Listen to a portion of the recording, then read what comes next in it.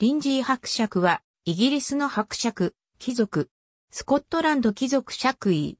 リンジー教を前身として、リンジー氏族の一員である、第10代、リンジー教ジョン・リンジーが1633年に、除位されたことに始まる。主家の爵位である、クロフォード伯爵位を6代にわたって保有したが、1808年にリンジー伯爵から分離したため、現在は継承権者を意味する。本項においては、関連性の高いリンジー卿、ガーノック子爵及びベスーン準男爵の歴史に関しても触れる。バイアーズ地方のリンジー氏族紋章。リンジー家は、クロフォード領主リンジー家を本家とする、リンジー氏族のうち、その分家筋にあたる家柄である。すなわち、第6代、クロフォード領主、デイビッドの4男にあたるウィリアム・リンジーは、ナイトに叙された冒険の人物で、分家リンジー家の始祖となった。さらに、その子ウィリアムは合わせて、アバコーン領主も兼ねた。その子のジョン・リンジーは、スコットランド民事控訴院判事や国王ジェームズ一世の身代金引き渡し時の人質を務めた人物である。彼は1455年2月22日に、スコットランド貴族として、バイアーズのリンジー卿を授けられたが、これが、リンジー家の貴族としての嚆矢となった。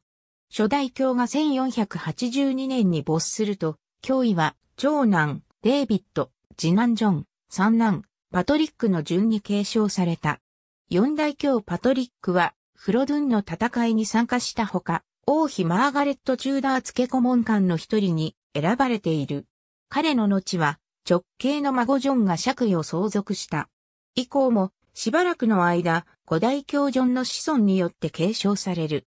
六代教パトリックは、スコットランド宗教改革の強力な支援者であった。ほか、メアリー女王の必勝立地、お殺害事件に加わって、公然と女王に反旗を翻した。その孫の八代教ジョンには、男子がおらず、爵位は弟ロバートが継承した。四代白ジョン。彼の死後、爵位はガーノック子爵家へと移行した。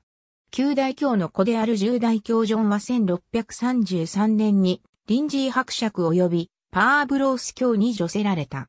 また、本家筋にあたる応答派伯爵こと第16代クロフォード伯爵は初代伯ジョンに優先的に爵位を継承させるべく、1642年にクロフォード伯爵位を返上して再除爵された。これに伴って、ジョンがクロフォード伯爵くらいの推定相続人になった。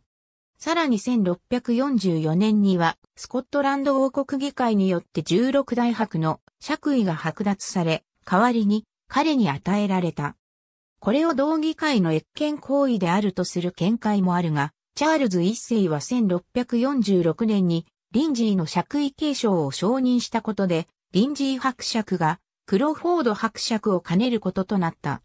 また、初代伯のイツオ・パトリックの子、ジョン・リンジー・クロフォードは1703年にガーノック子爵及びキングスバーン及びドラムリーのキルバーニー教に上されて伯爵家の文系が誕生している。一方で、リンジー伯爵位に関しては、初代伯の後四代伯まで直系男子による爵位の継承が続いた。四代伯上が死死のないまま死去すると、鳩行為にあたるガーノック子爵家当主、ジョージ・リンジー・クロフォードが爵位を継承した。故に、これ以降は、死爵位も、伯爵くらいの従属爵位となった。しかし、六代伯ジョージが生涯未婚のまま没すると、すべての爵位は休止した。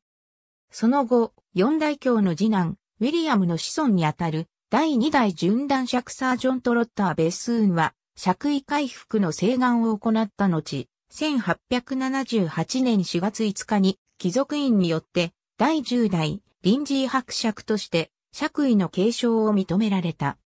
なお、10代伯の父、ヘンリー・リンジー・ベスーンは9代伯とみなされるほか、彼自身が1836年に順断爵を授けられていたことから、順断爵位が伯爵位に従属することとなった。また、彼はその姓をリンジーからベスーンへと改正している。他方、クロフォード伯爵位は第9代クロフォード伯爵からの分流バルカレス伯爵家へと継承されたため、二つの伯爵位は分離した。16代伯、ジェームズ。現役の貴族院議員。10代伯ジョンが子を残さず亡くなると順断爵位は廃絶した一方で、伯爵位は親族のデイビッドが継承した。12代伯レジナルドは貴族代表議員を務めたほか、一族の加盟のスペリングに E を加えて、リンジーと改めた。彼には子がなかったため、爵位は弟アーチボルド、その子、ウィリアムの順に継承された。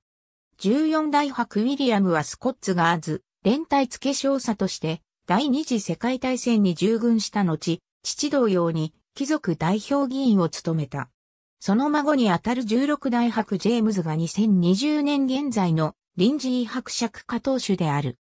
彼は1999年の貴族院法制定後も引き続いて貴族院に席を置く92人の世襲貴族の一人に選ばれたため、現在まで動員議員を務めている。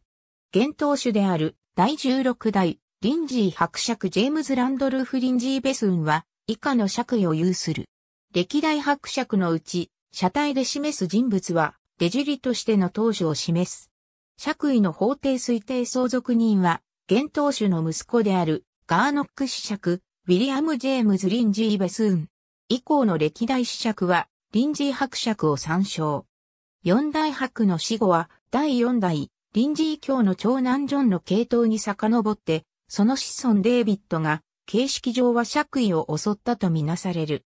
デイビッドが死死のないまま亡くなると、同系統の親族パトリックが爵位を相続したと見られるが、彼もこのないまま死去したため、四大教の長男の系統はすべて途絶えていた。九大伯の祖父ヘンリーの末帝、パトリックの孫にあたる人物。ありがとうございます。